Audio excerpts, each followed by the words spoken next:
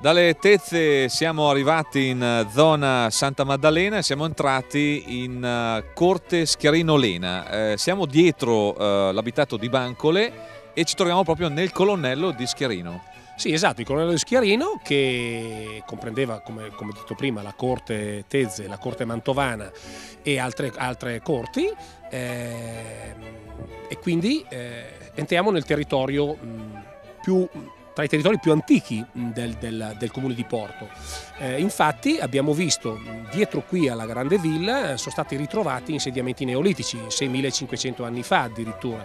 Non solo, ma poi si sono stati trovati anche alcuni reperti eh, romani eh, con una l'Ar Capitalis, che è una statuetta di 19 cm in bronzo pieno, eh, che la chiamano un po' la ballerina perché ha questo gonnellino che si muove con questa forma un po' a L che era tipica mh, dei romani montata su una colonna di, di, di marmo probabilmente ed indicava i, i, i vari crocevia, eh, i vari crusi a Zema, no? dove la gente eh, poteva prendere qualsiasi strada. Insomma. Noi visitiamo Corte Schiarino Lena, poi andremo in un'altra Corte Schiarino, in questo caso Corte Schiarino Previdi. Sì. Andiamo.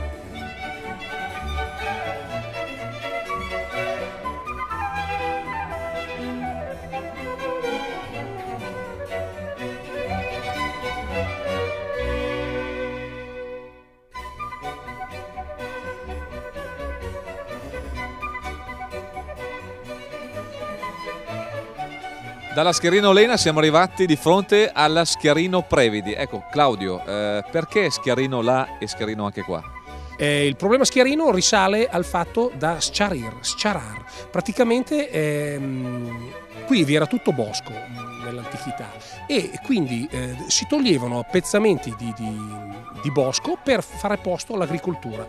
Questo, questo sciarir, sciarar, praticamente prende il nome la, la, località Schiarino, quindi prende il nome di una località ben precisa. Ecco, una villa importante, Villa Schiarino Previdi, perché nel, nei primi anni del 1800 è successo un avvenimento importante che ha determinato la fine di un personaggio a noi noto. Qui nel 1814 finisce l'avventura napoleonica nel Mantovano. Infatti all'interno di questa villa nel 1814 eh, il viceré d'Italia Gioacchino Beauharnais firma il trattato di resa con l'impero austro-ungarico e quindi eh, tutto il territorio ritornerà in mano al, agli austriaci. E noi continuiamo con il nostro viaggio di strade contrade stiamo visitando il comune di Porto Mantovano.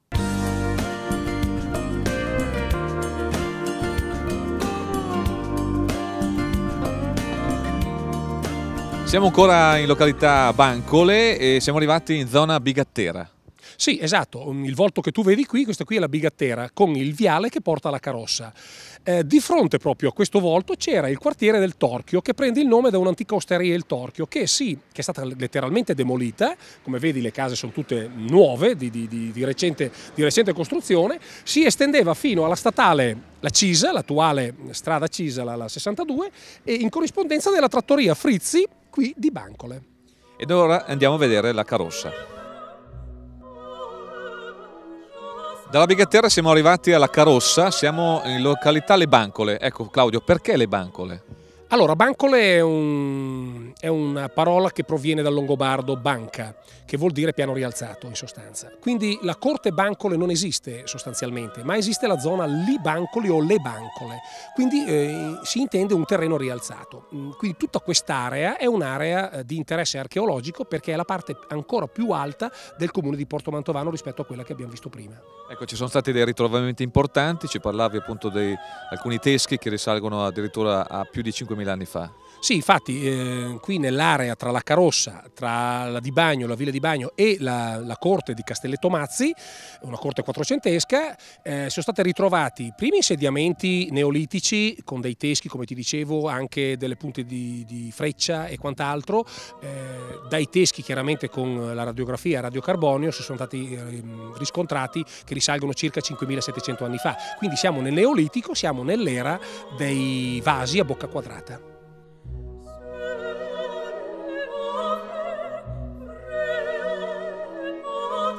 Siamo usciti dalla località delle Bancole e siamo arrivati con la nostra guida Claudio Quarenghi eh, nella corte Camatta.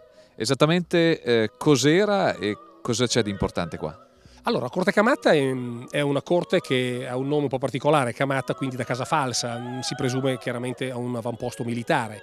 Eh, la corte del Cinquecento, infatti ci sono scritti che ehm, risalgono alla seconda metà del Cinquecento, che ehm, il Guglielmo Gonzaga la acquista e la dà in dono alla moglie Leonora, quindi la figlia dell'imperatore d'Austria, che eh, a sua volta eh, questa corte la cederà in usufrutto ai frati ehm, gesuiti.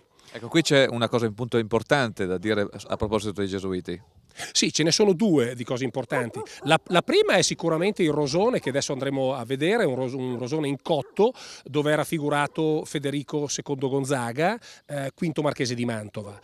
E, e, poi abbiamo un vialone qui alle nostre spalle, un vialone dove i frati gesuiti, visto che qui non vi è nessuna cappella per pregare, questo viale conduceva al, all'oratorio del Drasso dove questi frati si recavano a pregare.